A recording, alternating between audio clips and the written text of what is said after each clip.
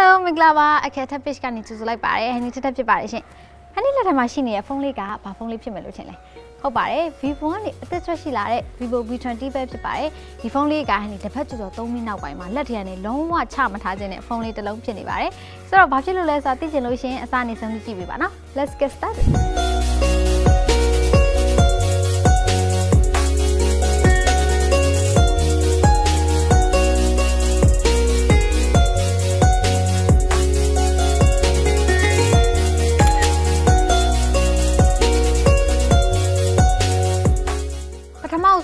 ဆုံးအနေနဲ့ဒီဖုန်းကိုဘာလို့အရန်ကိုကျွေမိလဲဆိုတဲ့တစ်ချက်ကသူ့ရဲ့ကင်မရာပါ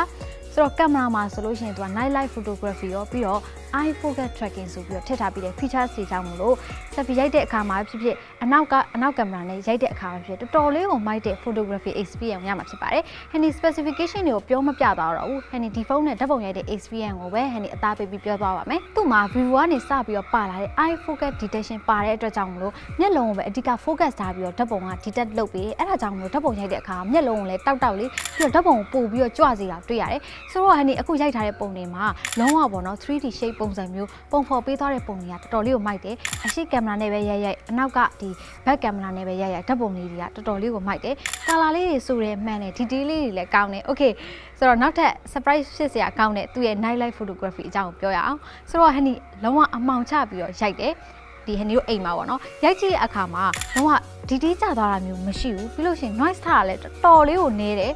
လိုးလိုက်မှာဒီလောက် quality ရိုက်နိုင်တဲ့ဖုန်းဆိုလို့ရှိရင်ဟန်နီတွေ့ဘူးတာပေါ့နော်ဒီဖုန်းက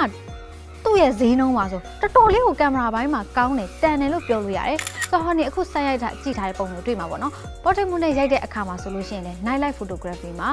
အနောက်က subject နဲ့လူနဲ့ကိုဝါးသွားပြီးတဲ့ပုံတွေကတော်တော်လေးကိုမိုက်တယ်လှတယ် realistic ဆန်တယ် detail မှာကျသွားတာမျိုးတွေ noise ထနေတာမျိုးတွေလုံးဝမတွေ့ရဘူးပြီးတော့သူ့ဒီဖုန်းမှာပါလာတဲ့ night feature မှာရိုက်တဲ့အခါမှာဆိုလို့ရှိရင်သူ software နဲ့ပြင်ပေးသွားတဲ့ပုံလေးတွေကတော်တော်လေးကို impressive ဖြစ်ဖို့ကောင်းတယ် night light photography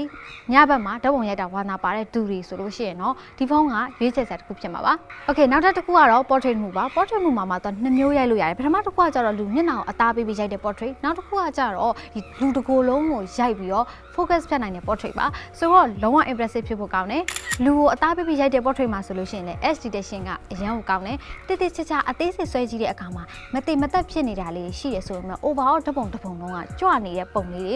လုံးဝမိုက်တယ်ပေါ့နော်ကြီးတောက်ရှင်ပုံလေးတွေနောက်တစ်ခုကကိုလုံးတကိုလုံးကိုပေါ့နော်ဓပုံနဲ့ portrait နဲ့ရိုက်တဲ့အခါမှာရှုကင်းလေးနဲ့ရိုက်တဲ့အခါမှာကိုယ့်ရဲ့ဒီလူကပို့ပြီးတော့ထွက်ပြီးကြွနေတာလဲတော်တော်လေးကိုမိုက်တယ်ပုံမှန်အဖြစ်ဆိုလို့ရှိရင်ဖုန်းတွေက portrait mode နဲ့ရိုက်တဲ့အခါမှာတကိုလုံးဆိုလို့ရှိရင် तू က SD detection မကောင်းတဲ့အတွက်ကြောင့်မလို့မပြတ်မသားဖြစ်နေတာလေးရှိတယ်ဆိုတော့ तू ကတော်တော်လေးကိုအနောက်ခံ background နဲ့ဒီအရှိကလူနဲ့ကိုချားထားပြီးရဲ့ portrait ပုံစံကတော်တော်လေးကိုမိုက်တယ် artistic လည်းဖြစ်တယ်အခုစမ်းရိုက်ထားတဲ့ပုံတွေကိုကြည့်တွေ့မှာပါ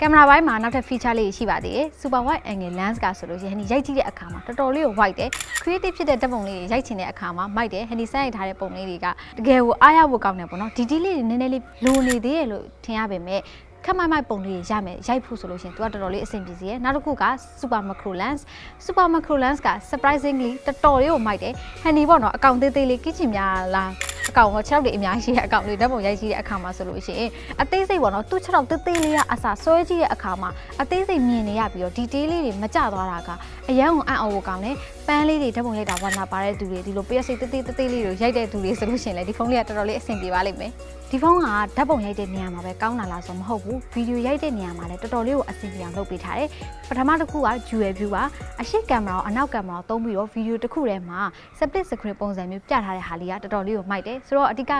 ကိုမျက်နှာလည်းပါခြင်းနဲ့အနောက်ကရှုပ်ကင်ကိုလည်းပြခြင်းနဲ့ကိုက reaction လုပ်တဲ့နေရာတွေမျိုးတွေမှာဆိုလို့ရှိရင်တော်တော်လေးကိုအဆင်ပြေစေတယ် Vivo V20 ရဲ့ dual view စမ်းနေရဖြစ်ပါတယ် dual view မှာတော့အမျိုးမျိုးပေါ့နော်ကိုမျက်နှာအကြီးပါခြင်းလားအသေးလေးပါခြင်းလားအနောက်ကရှုကင်ကိုကြတော့တေးသေးလေးပဲဘောင်လေးမှာပြခြင်းလားဒါမှမဟုတ်အကျယ်ကြီးပြခြင်းလားစသဖြင့်ကို focus ထားခြင်းတဲ့ပုံကိုရွေးလို့ရတာလည်းအရန်ကိုအဆင်ပြေတယ်နောက်တစ်ခုကသူက AI color portrait လို့ခေါ်တာပေါ့နော်ဆိုတော့အရှိကလူကိုကြတော့အယောင်လေးနဲ့အနောက်ကကျတော့ background background ကပေါ့နော်အဖြူမဲပုံစံလေးလုပ်ပေးထားတယ်ဆိုတော့ creative ဖြစ်တဲ့ video တွေရိုက်ချင်တဲ့အခါမှာတော်တော်လေးကိုအဆင်ပြေစေတယ်နောက်တစ်ခုက bokeh effect နဲ့ portrait mood ဗီဒီယိုမျိုးရိုက်တဲ့အခါမှာဆိုလို့ရှိရင်လေဒီဖုန်းလေးကမစိုးဘူးအာဒီ HD detection တွေကောင်းတယ်အဓိကဗီဒီယိုရိုက်တဲ့အခါမှာ realistic ဖြစ်တဲ့အဝါပုံစံမျိုးပေါ့နော် professional camera တွေမှာအဲ့လိုပုံစံမျိုးရိုက်ချင်လို့ရှိရင်လည်းဒါလေးကအဆင်ပြေစေတယ် effect တွေအများကြီးပါတယ်နောက်တစ်ခုကအယောင်လှလှလေးတွေပေါ့နော်ကိုကြိုက်တဲ့အယောင်လေးတွေနဲ့ effect လေးတွေပြင်ချင်တာဗီဒီယိုတွေကိုထည့်ချင်တာဆိုလို့ရှိရင်လည်းအဆင်ပြေတယ်ဒီလိုဆိုတော့ဗီဒီယိုဘိုင်းမှာလည်းမျက်နှာမငယ်ရအောင်ထည့်ပေးထားတယ်ကင်မရာပြီးပြီဆိုလို့ရှိရင်တော့အရန်ကြိုက်မိရဲ့ကြွေမိရဲ့အချက်ဆိုရင်သူ့ရဲ့ design ပိုင်းလို့ပြောရမှာပါမြင်ရတဲ့အတိုင်းပဲ first impression မှာတော့ design ဘယ်လောက်လာကြအောင်ဘယ်လောက်ကြိုက်ကြအောင်ဟင်းပြောပြီးသွားပြီဆိုတော့နောက်တစ်ခုကဒီဖုန်းကိုကင်ပြီးတော့လူတွေနဲ့တွေ့ရအခါမှာဒီဖုန်းကိုယောက်ျားလေးပဲဖြစ်ဖြစ်မိန်းကလေးပဲဖြစ်ဖြစ်ဒီဖုန်းလေးကလှလိုက်တာသူတို့ရချင်တယ်ဆိုတဲ့ပုံစံမျိုးပြောကြတယ်ဆိုတော့ဒီဖုန်းကယောက်ျားလေးပဲဖြစ်ဖြစ်မိန်းကလေးပဲဖြစ်ဖြစ်ကင်တဲ့အခါမှာမကြောင်ဘူးဒီဇိုင်းလာတယ် အရန်ကိုအဆင်ပြေစေတယ်လက်ထဲမှာကင်လို့ရှိရင်လည်းဟန်ဒီလိုလက်သေးတဲ့လူအတွက်လည်းဆိုလို့ရှိရင်100နဲ့300တာအဆင်ပြေတယ်ချစ်ချစ်လေးလေးရှိရဲ့ဒီ Vivo V20 ရဲ့ weight က191 gram နဲ့အထူက7.38 mm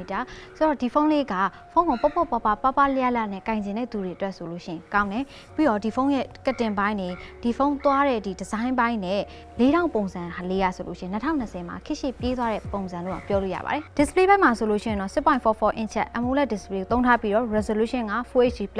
ရှိရယ်ဒီဖုန်းမှာ display ပိုင်းလည်းဟန်ဒီအရန်ကိုသဘောကျတဲ့အထက်မှာပါတယ် AMOLED ဖြစ်တဲ့အတွက်ကြောင့်မို့အရောင်တွေကဆူဆူပီပီရှိပြီးတော့ contrast ပိုင်းလည်းကောင်းတယ်တခုပဲပြောစရာရှိတာက water drop notch design ထက် punch hole design လေးဆိုလို့ရှိရင်တော့ပို့ပြီးတော့သဘောကျလိမ့်မယ် performance ဘိုင်းမှာ Snapdragon 720G ကထွက်ထားတာနည်းနည်းလေးကြာပြီဆိုတော့တိတ်တော့အများကြီးမမျှော်လင့်ထားဘူးဒါပေမဲ့ဟန်ဒီလက်တွေတုံကြည့်တော့ D2 တွေ usage တွေမှာပေါ့ပေါ့ပပရှိရယ် RAM ကလည်း 8GB တောင်ပါတာဆိုတော့လေ multitasking ဘိုင်းလည်းမစိုးဘူး gaming ဘိုင်းမှာ PUBG ကို graphic HD နဲ့ frame rate က high တိဆော့လို့ရတယ်ဆိုတော့တော်ရုံ game ဆော့မယ်ဆိုလို့ရှိရင်အဆင်ပြေတယ်ဟန်ဒီ game ဆော့တဲ့အခါမှာပေါ့ပေါ့ပပနဲ့တွတ်တွတ်လက်လက်နိုင်တယ်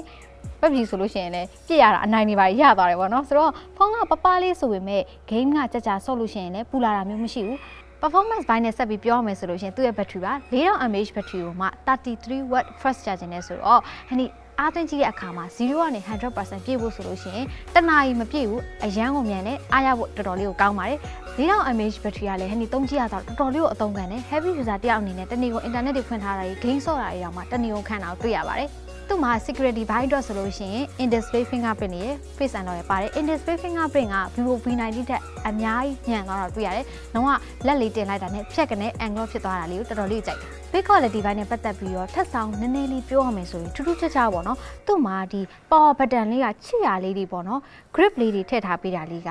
စမ်းရတဲ့အခါမှာတော်တော်လေးကိုကောင်းတယ်။ကန်ရတဲ့အခါမှာဒီသူ့နှိပ်ရတဲ့အခါမှာလည်းဇိမ်ရှိရပေါ့နော်။စော့နေရတယ်ကွာဒီလက်သေးလေးနဲ့ကြီးကြီးကြီးကြီးလေးဖြစ်နေတာ။အဲ့ဒါလေးကဆက်ဆန်းပြပြလေးထည့်ထားလေးလေးကိုကြိုက်တယ်။ media consumption ဘိုင်းနဲ့ပတ်သက်ပြီးပြောရရင်အားလုံးမိထားကြတာ speaker ဘိုင်းမှာ speaker ဘယ်လောက်ကောင်းလဲပေါ့နော်ဟန်ဒီဖွင့်ပြပါမယ်